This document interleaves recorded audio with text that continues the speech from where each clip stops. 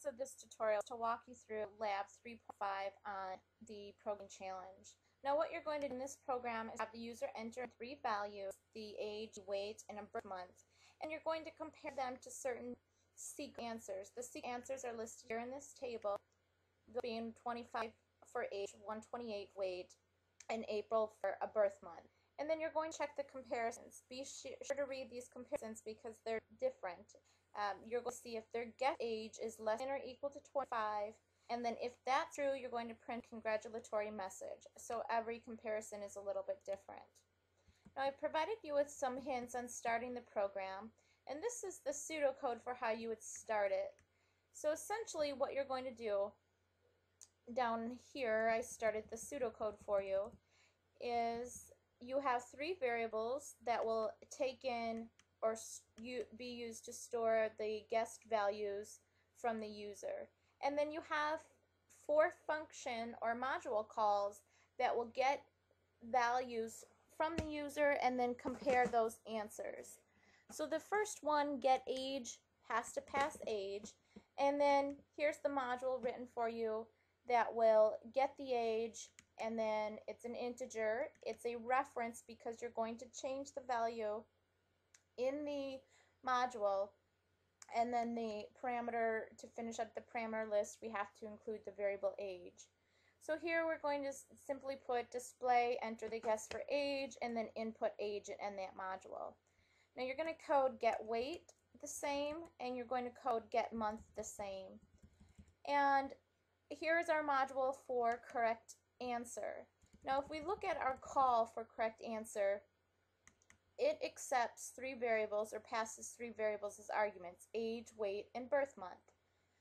Now down here in our parameter list, we're going to simply accept those. So integer age, comma, integer weight, comma, string birth month would be our complete parameter list. Now inside of here we just have three if statements. If age is less than or equal to 25, then we want to display congratulatory message and we end our if statement. Now be sure to check that you're using the proper condition based on the requirements of the program. Now you're going to add code here for the weight condition and that will be that will be done similarly to the age except that you're testing different values. Now on birth month, the thing that's a little different here is we're using a double equal sign because we're asking a question if birth month is equal to April. Now because April is a string, we have to have quotes around it. So if that's true, then put in here what you want to happen, ensuring to end your if statement. Now if we go over to Raptor, which is for our flowchart, you're still going to have a main main module where you have a call to get age, one to get weight, one to get the birth month, and then the meat of your program is in this correct answers module. So in correct answers, essentially what you want to do is to just stack your conditions, one for age, one for eight, weight, and one for birth month. Now I added the one in here for birth month because with Raptor, there's two important things. One, we use the variable birth month, and we're asking if it's equal to April.